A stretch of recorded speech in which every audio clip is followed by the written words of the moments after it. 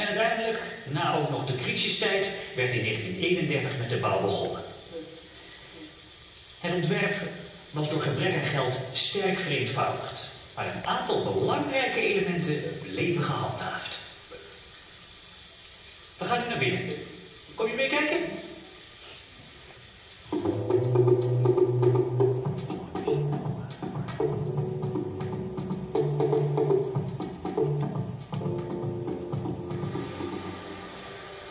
Deze lange gang met mooie vijvers aan weerszijden is bedoeld om de dagelijkse beslommeringen van Den Haag en het straatgewoel achter je te laten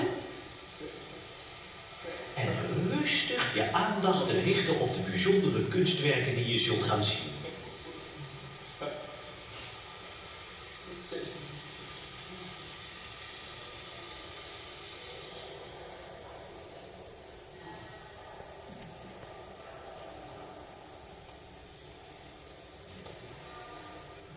Wat dit gebouw zo modern maakte, het werd ontworpen door de beroemde architect H.B. Berlage, waren de vernieuwende ideeën over de juiste lichtinval in een museum.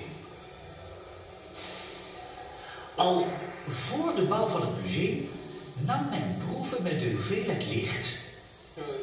Want te veel licht is schadelijk voor kunstvoorwerpen. En te weinig licht, dat is hinderlijk voor de bezoekers. Indirect licht van bovenaf bleek meestal ideaal voor schilderijen.